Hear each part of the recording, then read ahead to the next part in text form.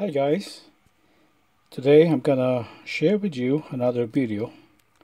Uh, this time this is the uh, auto tuner, the uh, ATU 100.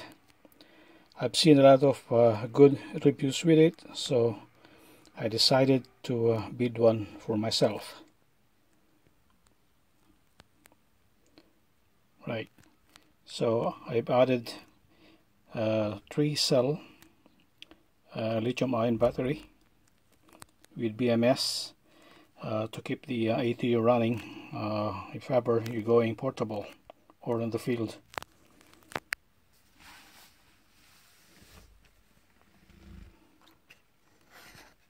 Uh, this is the front panel which I made from uh, 1 millimeter thick aluminum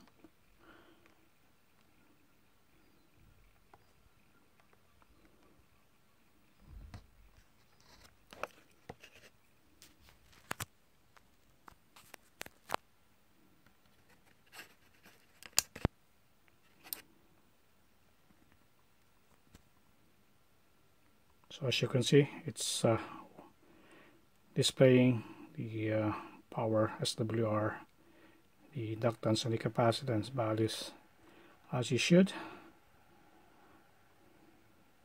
So I've done the uh, basic test.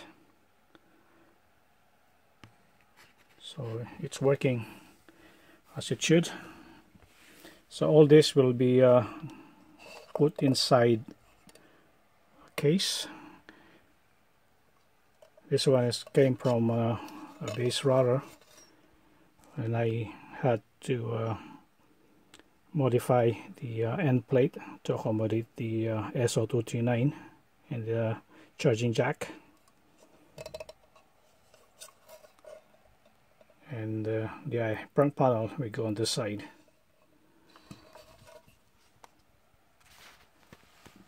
okay so this is how I set it up.